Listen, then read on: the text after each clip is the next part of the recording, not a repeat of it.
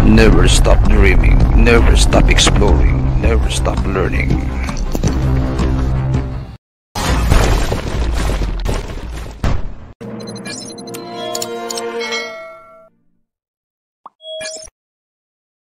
Okay, magandang araw mga katiits. Welcome back sa ating channel. Ah, ito yung bato na nakunan ng ah, treasure deposit sa loob. Yan, kung mapapansin natin, malaking bato ito. Tapos dito nakalagay yung heart na marker. Bato rin tinapal. At nakaturo yung heart papunta sa itaas. Dito, ito yung butas na nilagyan ng deposito. Yan. Papansin natin, malaki talaga yung bato na ito. Tapos meron itong takip. Dito yung nakalagay yung takip sa bato. Tapos dito butas na. Yan sabi ng mga taga rito ay mga dayo raw yung nakakuha. Ah, may nakatapal da- daw dyan dati na bato. Tapos tinanggal ng mga dayo. Yan. Diyan nakapaloob. Nakita nila, wala na. Wala na yung takip. Tapos ah, butas na lang yung naiwan.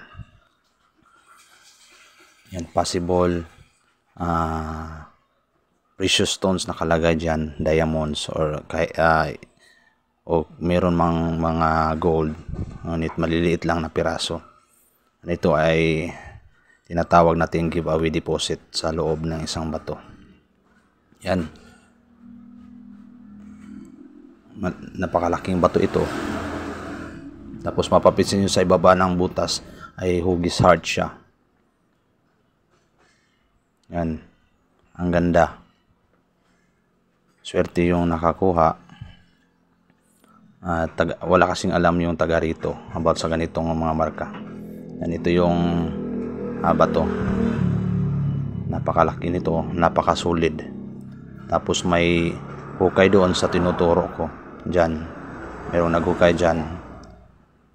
Ngunit walang nakuha. Mababaw lang naman yung hukay. Tapos walang nakuha.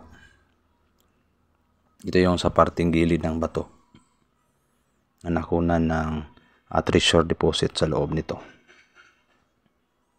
Yan swerte. Hinala ko dito is meron pa itong ah, ibang deposit